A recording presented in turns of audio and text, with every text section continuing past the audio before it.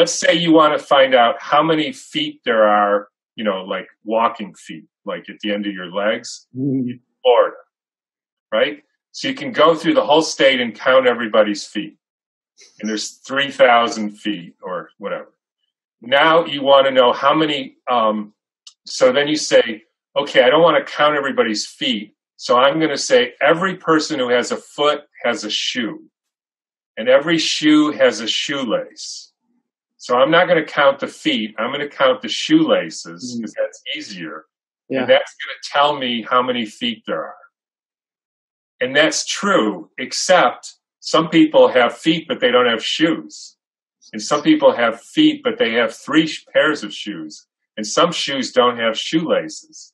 So in that situation, you cannot use the shoelace argument to say how many people have feet or how many feet there are.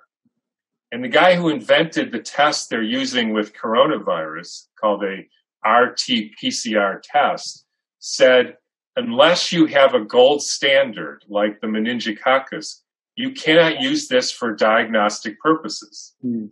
Mm-mm. It's a surrogate test. Yes. But the people who have, quote, coronavirus, they have a fever and a cough. So that could be anything. Yes. They haven't isolated the virus.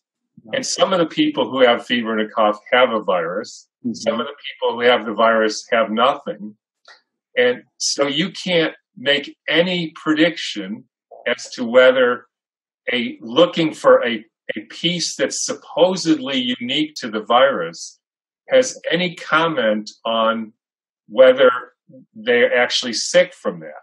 Mhm. But the, the really scary part of this is the way the test is done. They take a piece that's supposedly unique to that virus Mhm. and they accentuate it through cycles 20 cycles, 40 cycles, because they can't find it just with one. Mhm. And if you get it up to 60 cycles, you find it with everybody. Mhm. So it's not unique to that virus. No. So, but if you if you do it 35 cycles, Right. Then you don't find it with anybody. So you can actually, by choosing the number of cycles, you can choose how many people will test positive.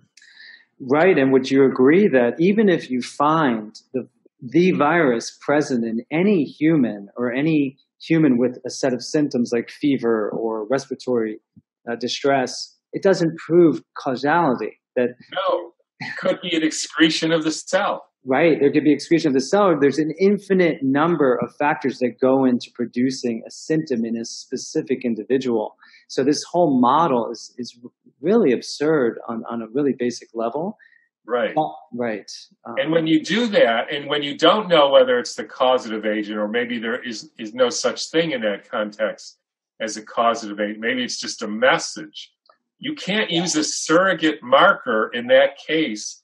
yes. And the problem then, if the, if the, if the false positive rate, if you do 40 cycles is 1%, Mm. and you go test 20, 20 million people, Oh, next thing you know, you have 200,000 people test positive and you've Right. got an epidemic. Right. Well, what David uh, Crowe did in his recent article on is coronavirus 19 real is showed that originally in China they were using uh, criteria such as possible exposure to someone who had been diagnosed with the infection as a, a way to confirm a case. But when they started quarantining and there weren't more cases to associate with, the, the numbers just went down to, you know, just basically dropped off the cliff. So it's all been through, you know, just completely non-evidence based criteria that they've been identifying, you know, and the virome and, and study metagenomic studies of just the human guts and even the blood are showing that many of these deadly viruses, so to speak, like flu and coronavirus and herpes viruses are actually naturally present. They're they're part of our fundamental makeup, and therefore this concept. I, I was going to write this article about how you know are, should we cons- be concerned about a weaponized germ? Because I think there's legitimate um, history to show that yes, there are these Yeah. secure facilities that ostensibly to protect against biowarfare are de- have developed these strains. But I think it's more weaponized germ theory that we are most concerned about as a geopolitical control system. Um, because of what we're seeing already with forced quarantines. I mean, we're looking at now Spain and France and Italy, and, and potentially soon the US will be on house arrest yeah. uh, with the National Guard outside with guns. And that's really something that I think people need to understand that this isn't just an academic discussion. Um, actually, when you really look down into to this, like we are doing with these testing um, uh, methodologies, there's very little evidence there at all that, that they work. Yeah. And you can manipulate the numbers to get to get more false positives and then you have an epidemic and then you can give people a vaccine and then you can lower the numbers and then see you got rid of the epidemic and all you did was change the number of, of cycles that you went through and you'll change the numbers absolutely I mean, you know when i explain this to people uh, at least my view I, you know i try to give people an imagination of this. And the two that i came up with is because we're talking about um, you know there are people who are getting sick and they do have degenerative cells right? Their mm-hmm. cells are degenerating and they're showing more dna than they probably should uh, pooping out of their cells right? No, the question then is what's poisoning them well, this is such an important point you're making because when you look at, for example, conventional, you know, standard of care for things like influenza,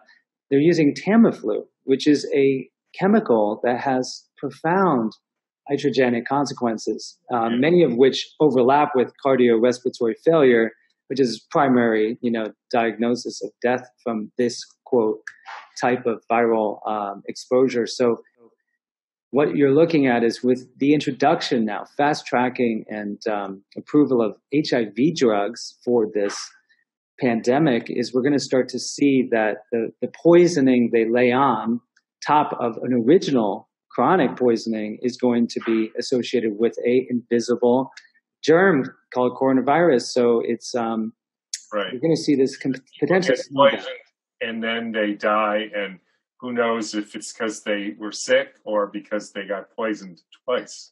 Yeah, and then I think also when you have these scary Ebola like outfits and you have this theater, you know, this political theater, we also have the bone pointing concept, which is like a shaman in some, you know, uh, ancient culture pointing a bone at a member of the tribe and saying, You'll die tomorrow, you're cursed. And the yeah. person believes them and they die. And so we're seeing that, I think, on a mass scale. In fact, some of the people that we know in this space are getting upset at individuals like myself who do not believe that the threat is as severe as CNN says or the CDC or the WHO. And they're starting to attack individuals who aren't afraid because so it's it's almost like there's a dehumanization process at play that is more concerning than any virus would ever be. Yeah. Well, I think it, again, a lot of this is speculation because we don't know. Um, at least I don't know. But I have a, I have a, I have a feeling based on my understanding of the history of flu pandemics that they're all associated with an increase in electrification of the Earth, uh, and there's something about a new electro electromagnetic field exposure that actually deteriorates the DNA and causes this excessive budding, which we call viruses. And that, that is actually a big problem. Wow. Like we have a problem. Yes. And we see people who are deteriorated and they started it in Wuhan and on this cruise ship. Mm-hmm. And I think that this story was partly a kind of, it's, it's a little bit like the Patsy thing. Mm-hmm. You know, we know this is going to happen. We know that whenever we roll out radio waves and radar and yeah. there's a flu epidemic. It's not yeah. a viral flu, it's a poisoning of the DNA. In particular, for whatever reason, the deterioration of the DNA in the cell from an electromagnetic field exposure that you're not used to mm-hmm. makes you look like you have a viral infection. And I mean, again, I don't, you know, I don't have all the answers or the facts here, but My guess is we do have a problem. Yes. That, but it's a it's it's the who put some shit in the water problem. Yeah. In this case, it's not the water; it's the the electromagnetic field of the Earth. And somebody just recently yes. put some heavy shit in our water, or I mean, field. We know that at 60 uh, gigahertz, the the oxygen molecule, I mean, it absorbs what 98% of the radiation. Yeah. So, you know, clearly micro, okay, like I like to explain to people that their microwaves emit 2.4 gigahertz or 2.45 gigahertz waveforms. That's the Bluetooth standard. That's what Wi-Fi is on.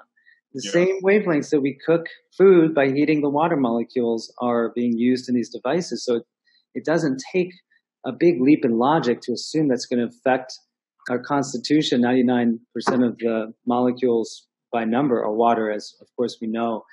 Um, so, and you know, there's this notion that biomass of the cell is really an epiphenomena, right? The cell is an electromagnetic entity, and there's an electron, and and so we we think about it as almost like as just emissions from the cell, but it's the other way around. Is the biomass what we consider real?